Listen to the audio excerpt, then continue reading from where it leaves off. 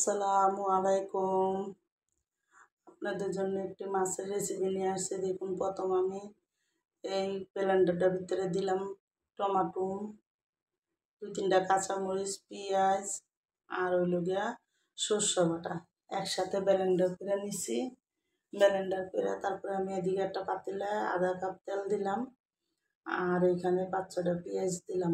পেঁয়াজটা যখন হালকা একটু লাল হয়ে আসছে তখন আমি যে ব্লেন্ডার করে রাখছি যে মশলাটি ওই মশলাটা দিয়ে দিলাম। দিয়ে আমি মশলার বাড়িটা সুন্দর করে ধোয়া দিয়ে এখানে একটু পানি দিব। আর এই মশলাটা ভালো করে তেলের সাথে মিলাই নেব। যখন মশলাটা তেলের সাথে মিলাই নেব, আমি এখানে আধা চামচ লবণ দিয়ে দিলাম। আধা চামচ লবণ দিয়ে এখন আমি এখানে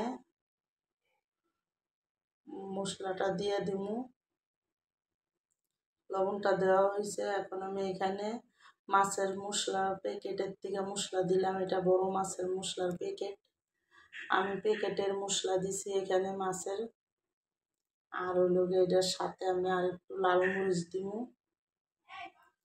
যখন মনে করেন আর একটু লাল মরিচ দিব যাতে একটু ঝালটা হয় এই জন্য দিয়ে আমি এখানে ভালো করে এই মশলাটা, সবটি মশলার সাথে তেলের সাথে ভালো করে মিলাই নিব যখন ভালো করে মিলানো হইব, সুন্দর মতন কষানো মশলাটারে এখন আমি লাইরা লাইরা ভালো করে কষাই নেব। ভালো করে যখন মশলাটা ভালো মতন কষানো হইব, এখানে আমি অল্প পরিমাণ একটু পানি দেব। আমি ব্লেন্ডারটা দিয়ে অল্প একটু পানি দিছি যাতে মশলাটা ভালো মতন কষাইতে পারি।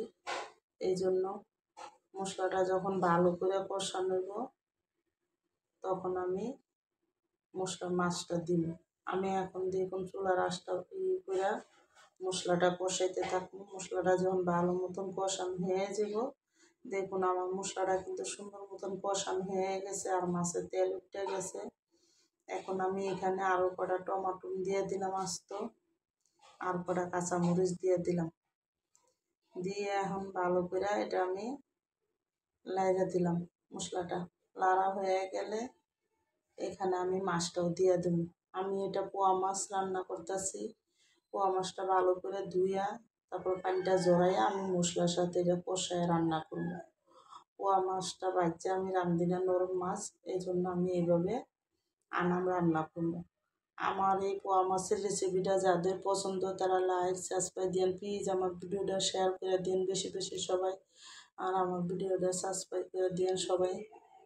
আর আপনারাও এইভাবে পোয়া মাছ রান্না করে খেয়ে দেখেন সরষা দিয়ে অনেক মজার এই মাছটা। এখন আমি সবটি মাছ দিয়ে দিছি, দিয়ে আমি অল্প পরিমাণ পানি দিব এখানে।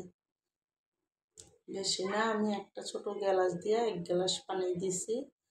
আমি আর পানি এদিকে দিব না। এই মশলাটা আর এই পানিটার সাথে সুন্দর করে মাছটাকে আমি ভালো করে লাড়া দিয়ে আমি কিন্তু এখানে এখন ডাইকা মাছটা রান্না করব, যতক্ষণ মাছটা না হয়। আর এই মাছে বেশি পানিও লাগবো না। আর এখানে আমি আরও দু তিনটা কাঁচামরিচ দিয়ে দিলাম। দিয়ে এখন ডাইকে আমি মাছটা হন পর্যন্ত রান্না করে নেব। দেখুন, মাছটা কিন্তু সুন্দর করে হয়ে আইছে। আর এখানে মশলাটাও ভালো মতন হয়েছে আমি একটু জিরার ফাঁকি দিয়ে দিলাম। দিয়ে এখন আমি মাছটা ভালো মতন একটু লাড়া দিয়ে হালকা জাকান দিয়ে আমি উড়াই দেবো আমি এটা লাড়া দিব না মাছটা। হালকা জাকা দিয়ে এখন আমি নামাই দেবো আর মাছটা রান্না শেষ।